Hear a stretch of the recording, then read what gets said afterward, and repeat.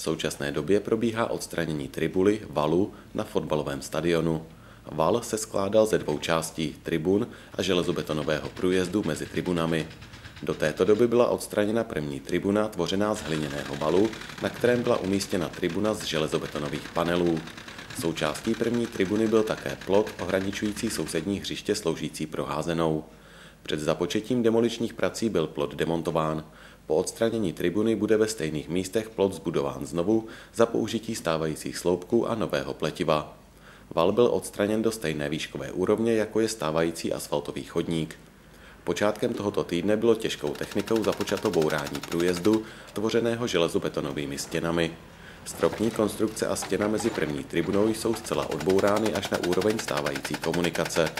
Druhá stěna bude odbourána do úrovně jednoho metru, kde bude sloužit jako opěrná konstrukce pro zeminu, která zůstane po odstranění části druhé tribuny. Ta je rovněž tvořena z hliněného balu, na kterém je umístěna tribuna z železobetonových panelů. Výškový rozdíl mezi kraji valu od tenisu a fotbalu, který tvoří rozdíl zhruba 1,2 metru, bude řešen pozvolným svahováním. Stavební práce zde probíhají pouze v pracovních dnech. Termín ukončení prací by měl být do konce měsíce září.